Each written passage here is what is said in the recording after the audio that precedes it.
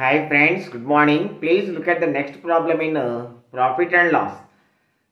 See friends, uh, a man expects a profit of uh, 22.5%. So he expects a profit of 22.5% means uh, if cost price is 100, sold price is uh, 122.5. 122.5 means uh, 245 by 2. If in a week he makes a sale of 392 rupees, what is his profit? Friends, if this is the sold price, if this is the sold price, the cost price is uh, 100. If this is the sold price, what is the cost price? So, this by directly proportional problem, this by this into this.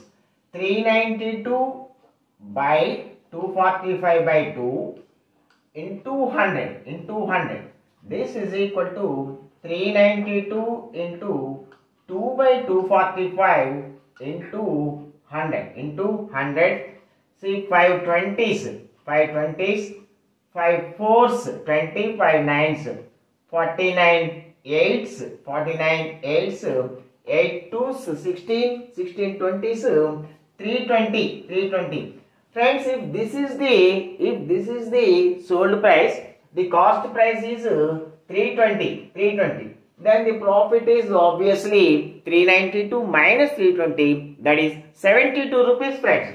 Profit is 390 minus 392 minus 320 that is equal to 72 rupees friends.